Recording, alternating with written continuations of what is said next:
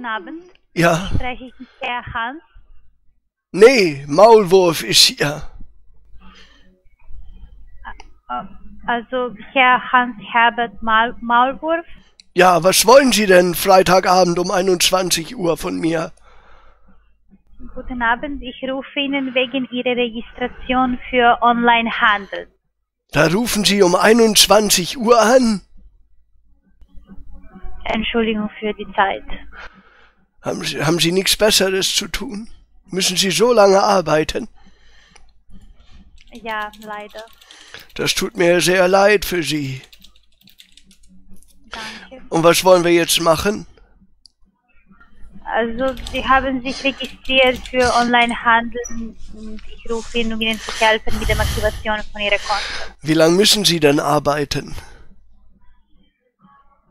Bis 10 Uhr. So lange rufen Sie die Leute an, das grenzt ja schon an Belästigung und Gangstalking. Ja. Ja, wie können Sie mir denn weiterhelfen? Also wollen Sie ein Konto aktivieren oder nicht? Ja, ich will ja Geld verdienen, ne? Okay. Je später der Abend, desto lieber die Gäste, denn die kommen und fressen die Reste. Ich weiß nicht, ob Sie das Sprichwort kennen. Äh, leider, ich nicht. Ja, das merke ich, aber das ist ja nicht schlimm, ne? Es ist ja nie zu spät, um einen durch den Kakao zu ziehen, ne? Und wenn der Maulwurf erkältet ist, dann hört sich das noch ein bisschen authentischer an, ne? Also Ich habe sowas an die 39 Fieber, aber sag mal, da bin ich mir trotzdem nicht zu schade für.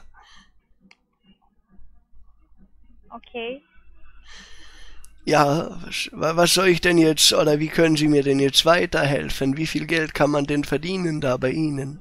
Das hat sich gereimt gerade. Also das bedingt, mit wie viel Geld Sie beginnen und ja. Na, nennen Sie mir doch mal eine Prozentzahl, ne? Das sind Sie mit Ihrer Hyperintelligenz ja sicher in der Lage zu. Ich kann Ihnen nicht ein echtes Nummer sagen. Ich wollte ja auch nicht Ihre Telefonnummer haben. Ich wollte ja im Prinzip wissen, wie viel Geld ich bei Ihnen verdienen kann, ne? Wie ich schon gesagt habe, das bedingt von den Situationen an der Markt und von wie viel Geld Sie investieren. Von wo rufen Sie denn an, junge Frau? Von England. Von England? Ist das da nicht noch später als hier? Das ist doch am anderen Ende der Welt. Das eine Stunde früher als bei Ihnen. Also daher ist ja die, die Motivation zum, zum penetranten Gangstalking her. Ich verstehe schon. Hast gut gemacht, muss ich zugeben. Ihre Internetseite hat mir auch sehr gefallen. Ja. Sind, sind Sie müde? Sie hören sich sehr schläfrig an. Ähm, können Sie mir jetzt besser? Ja, ja, jetzt ist das besser. Sie hören sich trotzdem überaus gelangweilt an. Nein. Haben Sie keine Lust mehr heute? Ich habe noch Lust. Das ist gut, dann pack's mal aus da. Ja. Ja, ich warte. Also sagen Sie mir, wie alt sind Sie? Ich bin 69 und Sie? Ich bin 33. Ich hätte Sie auf 20 geschätzt. Vielen Dank, aber leider bin ich nicht so jung. Ja, ja, der Zahn der Zeit, ne, der nagt unablässig, der alte Hund. Aber was will man Also- machen, ne? ja. Also Sie sind schon im Rent oder? Nee, ich bin noch nicht im Bett, ich bin im Prinzip gerade in der Küche. Nein, ich habe gefragt in der Rent, Pension. Ja, ja, ich bin Pensionär, nicht wahr? Und Sie? Okay. Ich bin nicht Pensionär. Das habe ich mir gedacht. Ja. Wären Sie gerne in, in Rente? Hm, noch nicht.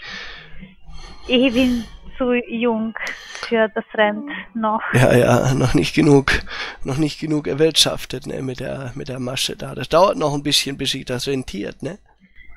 Genau. Ja, ja, ja, so ist das, ne? Verdienen Sie dann auch Geld mit Investitionen? Ein bisschen, ja. Ja, wie viel verdienen Sie so im Monat? Es ist nicht egal jedes Monat. Es ist nicht egal? Es ist nicht die gleiche Summe jedes Monat. Ja, aber so ungefähr, ne? Das ist 5 Euro, 20 Euro, 100 Euro. Mehr als 100 Euro. Ja, das ist gut. Und worin haben Sie investiert? Ich habe in Bitcoin investiert. Ja, aber der ist doch gerade total abgestürzt, als die Chinesen den verboten haben. Ja, aber ich habe nicht mit Chinesen zu tun. Ja, aber der Kurs ist ja massiv gefallen, als sie das gemacht haben.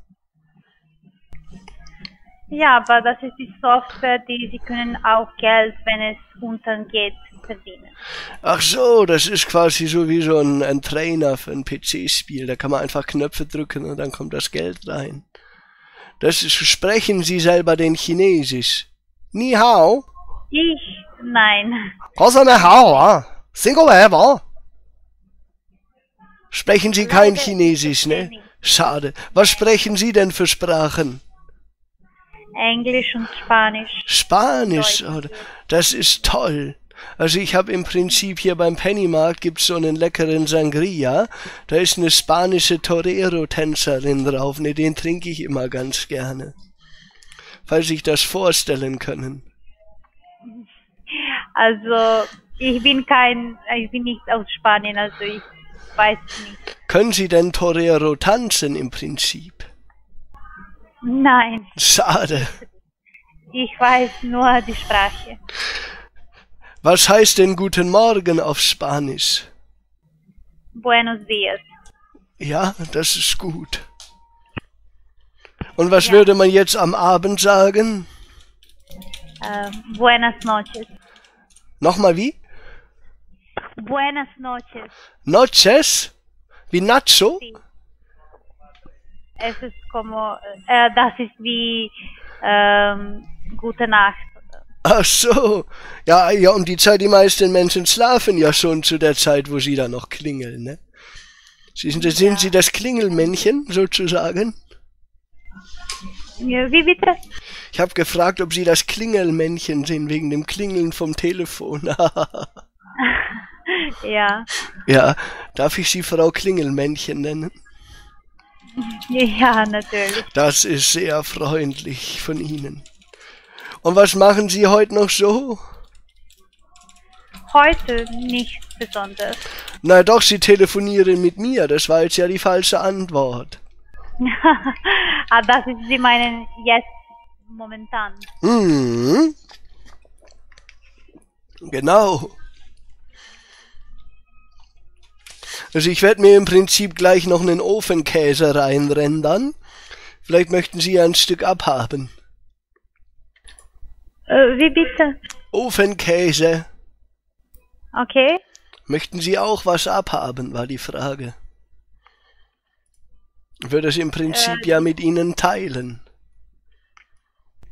Ich weiß nicht. Ja, das scheint Ihre Lieblingsantwort zu sein, ne? aber lieber, lieber ehrlich, ne? Ja. Ja, ja, ich weiß die Ehrlichkeit von Menschen schon zu schätzen, vor allem wenn die um 21 Uhr anrufen, ne? Wann fangen Sie denn an, wenn Sie so spät arbeiten müssen? Ich beginne um 15 Uhr, 3 Uhr. Das ist ja Spätschicht im Prinzip. Ne? Arbeiten Sie da in der Disco Ja. oder was ist das für Musik da hinten? Es ist das Musik vom Büro. Das ist ja schrecklich. Wie kann man denn so arbeiten? Ich würde mir ja jeden Tag Wachs in die Ohren gießen. es ist nicht, es ist nicht schlecht. Verdient man denn gut da bei Ihnen? Ja, natürlich. Ja, was bezahlen die pro Stunde? Also ich arbeite nicht pro Stunde. Also Sie arbeiten auf Provision, natürlich, klar. Und wie viel Prozent Also vom Abschluss kriegen Sie? Von 1 bis 5 Prozent. Das ist aber nicht viel, ne? Ja, aber ich arbeite nicht nach Prozent. Nur die Finanzberater von hier. Also Sie kriegen weder Stundenlohn noch Provision. Sie machen das quasi ehrenamtlich, so nach, nach der Kirche noch. Wie bitte? Wie bitte? Nochmal Ich habe bitte? nicht gehört, was Sie, ich habe nicht gehört, die letzte, die Sie gesagt haben. Ich habe gefragt, ob Sie das da ehrenamtlich machen, wenn Sie sagen wir, in keiner Form Bezahlung erhalten. Ich bekomme Bezahlung. Ja, von wem denn? Wenn, wenn Sie sagen, Sie kriegen keinen Stundenlohn und auch keine Provision, leben Sie ja im Prinzip von Spenden da. Ich arbeite nach äh, monatlicher Bezahlung. Ja, dann ja, ist ja doch Stundenlohn. 40 Stunden pro Woche. Viertelstunde pro Woche arbeiten Sie nur, das ist aber nicht viel. 40. Ja, ja, und wie viel Euro oder Dollar oder Pfund oder Rupie kriegen Sie pro Stunde? Ich kann Ihnen das nicht sagen. Wissen Sie das selber nicht? Ähm, ich weiß nicht, aber das ist eine private Information. Aha. Okay, äh, Haben Sie denn, haben Sie denn auch Dogecoin? Ich würde ja im Prinzip gern Dogecoin kaufen. äh, ich habe noch nicht, aber ich will das machen. Ich glaube, es ist ein echtes Gut. Nee, bei Ihnen in der Firma. Also ich will ja bei Ihnen jetzt investieren. Und da würde ich im Prinzip ja, auch gern Dogecoin kaufen. Hier können Sie das nicht. Was kann man denn bei Ihnen einkaufen? Also Sie können nicht einkaufen, Sie können mit dem Krypto handeln. Ja, ja, das meine ich ja. Mit dem Preis von, also Sie können Forex, Bitcoin, Was ist denn Forex?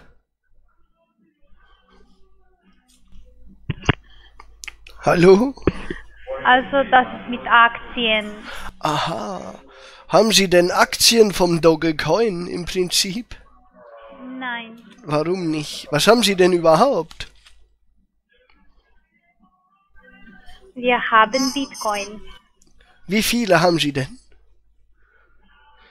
Also Sie kaufen nicht das Bitcoin, Sie handeln mit dem Preis. Ja, ja, natürlich, klar. Und wie können Sie mir da jetzt weiter? Ey, was ein Gesindel. 21 Uhr rufen die noch an. Man glaubt es nicht. Ey, ich habe den ganzen Tag gepennt, weil es mir echt scheiß dreckig geht. Und dann wirst du abends um neun noch von sowas geweckt, weil ich dann dachte, okay, brauchst du Telefon, brauchst du nicht mehr stumm schalten. Um die Zeit ruft keiner mehr an. Wahnsinn! Und dann machen die noch bis 10 weiter. Und die hat gerade gesagt, bei denen geht die Uhr eine Stunde vor. Wahrscheinlich, äh, das Hirn hängt eine Stunde nach. Aber dann rufen die bis fucking 23 Uhr die Leute an. Als ob jemand um die Uhrzeit Geschäfte macht. Die Alte war doch auch schon scheintot belehrt.